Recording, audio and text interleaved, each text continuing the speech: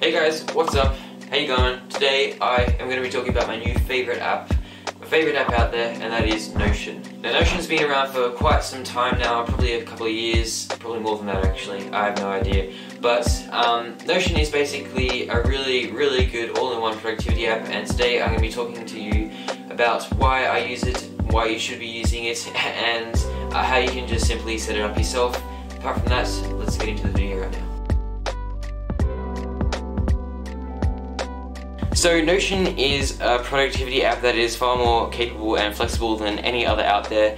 It's set up with pages. These pages consist of blocks and these blocks can be either text, bullet points, number lists, a to-do list item, a calendar, a table, a code block, a page, or many other things. And because you can put pages inside of pages, you can form the biggest hierarchy you want, unlike Evernote, which only has stacks and notebooks. So the best description that I can give you of this app is that it is literally the best and ultimate productivity app out there. The second question that I want to answer in this video is why use Notion? Is it really as good as you're making it look? And the answer is yes, but I'll tell you the reasons.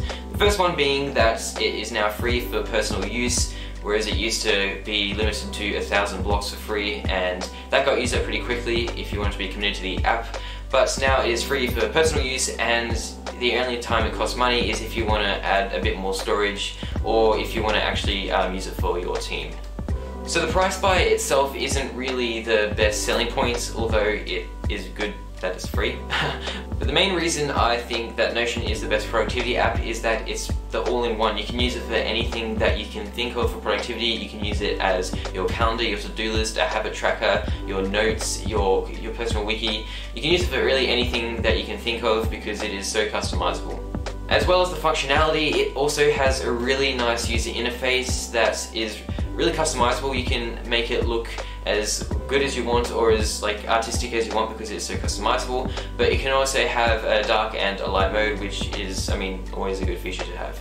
Another reason Notion is my favorite productivity app is that it is really customizable and so customizable that it can be used as a substitute for a bullet journal. Now in the past I've used the bullet journal quite a bit and it's because it was so customizable and I could use it for my to-do list, my schedule, my habit tracker all in one but I kind of got frustrated because I wanted it to, you know, sync between different devices, but it can't because it's a book. And I had to carry it around with me all the time, and I could easily lose it if I left it somewhere. I'll never be able to find it again. I'm also a big sucker for productivity apps, that's just who I am, so I can't really help that, but that is why Notion is the best app because it's like perfect digital bullet journal. Now, although there are mostly upsides to using Notion, there are some downsides. The first being that it has a much higher learning curve than other apps such as Todoist and Evernote. Because of its high learning curve, it can intimidate a lot of people and it can waste a lot of time, which is why a lot of people actually have called it the app that like wasted time I don't really know what they actually called it, but basically that it wastes your time because it is such a complicated app. To an extent this is true, and for quite a while it was true for me because I was wasting my time on it trying to learn how to use it, but if I had have gone on YouTube it would have been a lot faster and I have created weekly and daily reviews that allow me to do this in just a couple of minutes each day or each week. So if you're a student, this is the perfect app for you because you can use it to plan your projects, your semester, your class notes, whatever you can think of you can use Notion for. You can use it for active recall and I'm thinking of doing a video on that in the future so stay tuned for that. But it's also a great app for anyone else, even if you're not a student, you can use it as your personal planner, your calendar, your to-do list, anything like like I said, it's the all-in-one. I don't want to ramble on about it too much, but it is such a great app that if I had learned, I'm trying to learn how to code and was, the main reason was because I wanted to make an app like this, but now that Notion is avail available for free and it is such a good app, I don't really see any reason, but I still want to code because I want to know how to do that, but um, yeah, let's stop talking about that because that's not what this video is about. So yeah, Notion is probably the best app for anyone, no matter where you are, no matter what circumstance you're in, because it is customizable to any situation you can be in. So yeah, go and give it a try, that is my opinion.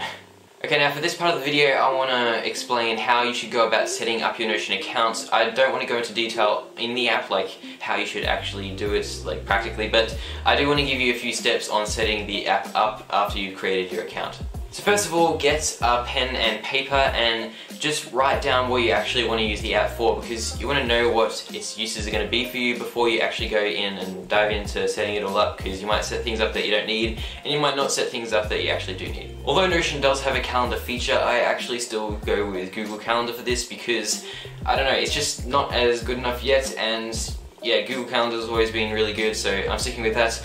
And also, I still do use Evernote for a few old files that I just haven't been bothered to bring over to Notion, although I should probably do that, and Notion has made it really simple to do that because it has this like import from Evernote feature, so that's, yeah, really cool. Okay, so once you've written down what you want to actually use Notion for, you want to next write down, still with pen and paper, how you're actually going to organize all this. I made kind of a brainstorm graph where I had HQ or my homepage, the main page which I put everything else under, and then under that I listed all the areas of my life, and then under those anything else that I needed. This worked for a few days, but then I saw this video that really inspired me to actually start using it as a to-do list as well, and I'll leave the video link in the description below if you want to watch that as well. I'll definitely go and check it out because it is pretty good. Um, but basically I then changed that setup that I had written down and it didn't really take long but um, yeah now it works much better and I'm using it for my to-do list and for any, any events that I have that day. Okay, so once you've written it down on paper, you want to actually go and set it up in the app and this shouldn't be shouldn't take too long, it should be pretty simple at first. Um, it might be a bit hard, but if you need any help, just go and check some tutorials on YouTube because there are plenty out there. Don't be afraid to try new things out in Notion because it has so many features. You don't want to learn them straight away because it's going to take a long time. Now I'm sorry the sun just came out, that is very, very frustrating. It's a cloudy but clear day. There's really dark clouds and then there's no clouds and then there's another really dark cloud and it goes on and on. I'm just going to try to wait for the next cloud and then film as much as I can and then stop again. This is really frustrating because it's winter. The sun's like right there.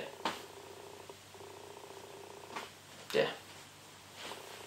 Okay, so sorry guys, but I'm gonna have to end the video here because I was relying on natural light and the effect, cushioning effect of the clouds to kind of smoothen out the lights and uh, the clouds failed me and um, ran away, so I am, oops, that was not good. I'm now using like straight natural light and it's just like really bright, I don't know if you can see that, but it is like yeah, so you can tell. You can tell it's really bright and I just didn't, I just couldn't stand like having the sun right in my face. It was really annoying. But anyway, I hope this has encouraged you to try out Notion, at least just for a, a day or so, just to see how you like it. Personally, I think it is the all-in-one, the ultimate productivity app out there and I don't see myself changing anytime soon. Goodness, this is actually getting really hard to hold. I'm using a big tripod to hold because I don't actually have like a I don't know, but I don't know what they use, what it is, I don't know what it's called. Anyway, I hope you guys enjoyed this video and um, please let me know in the comments below if you do try Notion out or if you already use Notion. I'm very interested in what you guys, how you guys use Notion and stuff like that, so yeah, please let me know. If you like this video, please smash that like button and also subscribe if you want more content like this. Also, follow me on Instagram, I'll leave a link to that in the description below. Um, I have been trying to get better at my photography skills, so I am posting there a bit more regularly and I've only got a few pictures on there, but um, yeah. Um, if you are into that, please go follow me there, but apart from that, I'll see you in the next video.